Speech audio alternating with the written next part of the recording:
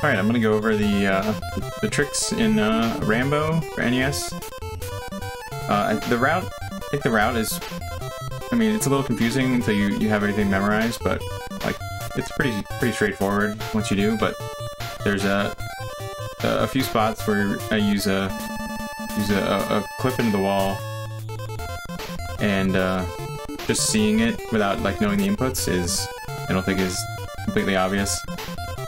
Uh, but yeah, so the, the main controls, jump, B's attack, select, change your weapons. Uh, you can also pause and change your weapons while you're paused, which is important, which I will talk about uh, after this. Uh, if you hold down and jump, you get this little baby jump, which is which is pretty useful in certain spots. And then for uh, certain platforms, if once you're in the air, you hold down, you can drop through them. So this is also used in certain spots. oh yeah, the first, uh, so the wall clip. Uh, this was discovered by Brossentia, pretty sure.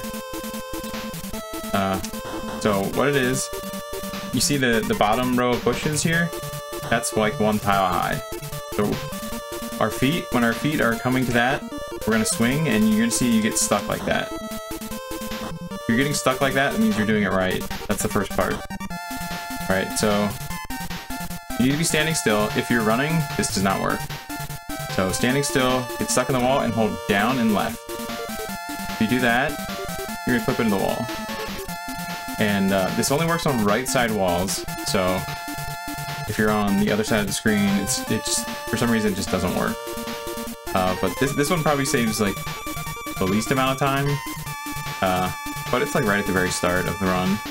So you can jump up and then screen wrap into the screen transition and just come right to this door. So it's like a nice, saves a few seconds right at the start. But yeah, the basics, you want to get it, you want to swing against the wall until you're getting stuck. Once you get stuck, you're holding down and left. And then you're gonna, you're gonna want to let go of left first, then let go of down. Obviously, if you let go of down first, and then you're still holding left, you're gonna walk out. Uh, but yeah, that's the that's the first one, and yeah, I'll show you like a hand, handful uh, more spots that, that you do it. Uh, this is this is another trick uh, that is very important to the run. So, uh, so if I take a, a hit that's gonna kill me, so we're dead right now. If I if I let this go, if I unpause, after you after you're at zero health, uh, you have like a little bit more than a second before you're actually dead. So what you can do during that second is pause. So we're we're we're safe right now, and then select over and then use one of your health potions. So this is use this like all the time during the run. Like you take your final hit and then you just pause and then you can refill your health and then and then you're alive and you can continue. So getting used to just pausing, select select B to use it. And then you go. But yeah, that's a that's a very another very important thing that the the game is kind enough to let you uh, save yourself. it's very nice. Next spot is, uh... So this part, this bridge, you're supposed to cross the top of it. You're supposed to go around a couple of screens and then jump across it. Uh, these bubbles can, like, knock you down. Uh, but there's a, a back door that, that you can just enter and start down here automatically. So we can just do the same thing. Our one tile high is now the water. So we just do the same thing and we can just jump up and that's a shortcut. Skips uh, a couple of screens. I don't remember how much this one saves. And then uh, not too long after this in the run, we're going to come to, if you watch the, the run, we come to uh, another bridge that we do the same thing. We skip another and I think I, I think like combined they save like at least 40 seconds. But yeah, that's that one. Nah. And we're on to the next one. this one is in, uh, it's in the section with all the monkeys. It's on this screen. Uh, this one, it's the same, same thing. And this is another one where we're gonna screen wrap. Uh, this one saves, this one saves having to go through this screen, which, this one saves more time than, oops. This one saves more time than, and then you just go. Than the, the very first one that I showed. Uh, and it saves, uh, like, risk of taking damage on this screen. But well, once you once you get the hang of it, it's pretty pretty simple to do. Uh, but yeah, we have uh, uh, just just a couple more after this. But this one, this is probably this is either the biggest or this this is might be the second second biggest one. Uh, so this is where you you go talk to the, the, the one boss where you hit him and his head turns big, and then you're supposed to like go all the way back a different way through the base, but you come to this dead end, which we already passed uh, on the way into. This is just the second room into the base. Uh, yeah, right here you can do the same thing.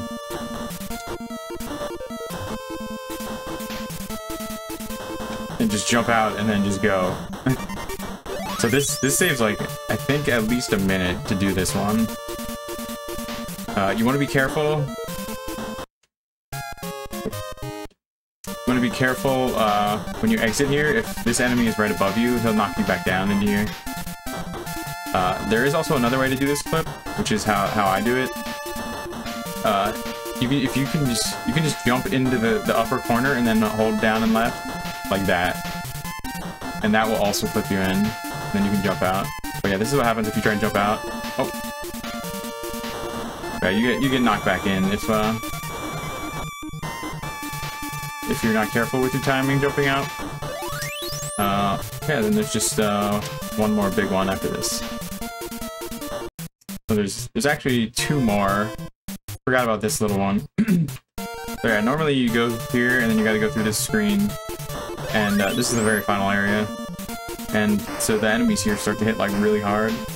And we don't have like we have usually have 200 health 200 max health here.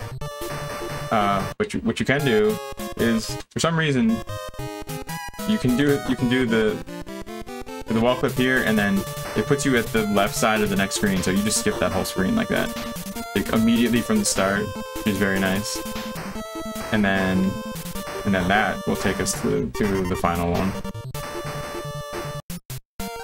Okay, so we we uh, we battled through the, the final area. We got to the, the final POW to save. And then what you're supposed to do is go back out and then... Actually, I've never actually done it, but you're supposed to backtrack and you fight a, a big helicopter boss. Or you just do the same same one we just did inside the base, and you just jump out here. And conveniently, we were right here back at the helicopter, and then this takes you back to our home base, and you have that. You're like two more conversations, and then the game is over. So this one, this is the probably the biggest one in the whole game, and yeah, you can do it the the same way. You can do it the normal wall clip way, or you can do the the jump in the corner way that I do it.